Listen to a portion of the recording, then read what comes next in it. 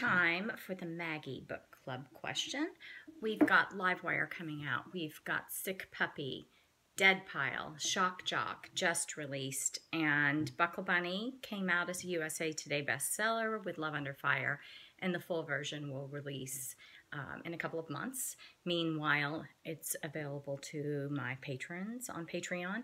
So it's all about Maggie these days. And in the last um, blog, the It's All About Maggie blog, we talked about what book club question she wanted to answer.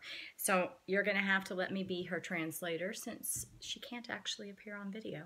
But what she wanted to tackle was Maggie isn't shy about sex or alcohol. Did you find her behavior self indulgent? What reasons could you find to account for her behavior? So, answering as Maggie. First of all, have on my Johnny Was clothes.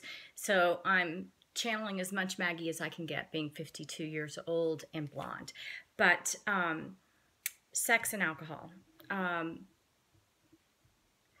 Maggie wants you to know that once upon a time she did rehab. Well, she did it twice. But her rehab was for drugs, and that she doesn't think she's ever had the same problem with alcohol. Notwithstanding what other people might say about addictive personalities, she does seem to, um, from my perspective, have a problem with using substances um, in a way that is to calm demons and that might suggest she's addictive.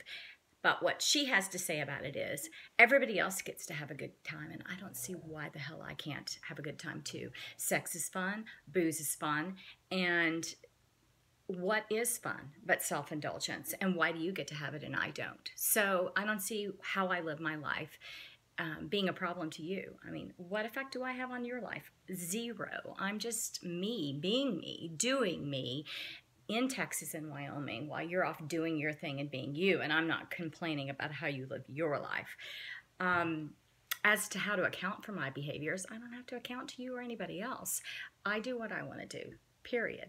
Now, as Pamela, I will say that her behavior is self indulgent. Maggie doesn't have anybody else to worry about except for herself, for the most part. Um, on the other hand, her behavior is, I think, bigger than self indulgence. It is um, self soothing, that Maggie's constantly trying to find a way to make it easier to be Maggie, and that when being Maggie is easier, she drinks less. And when she's worrying about somebody other than herself, she drinks less. Maybe that second part is more telling.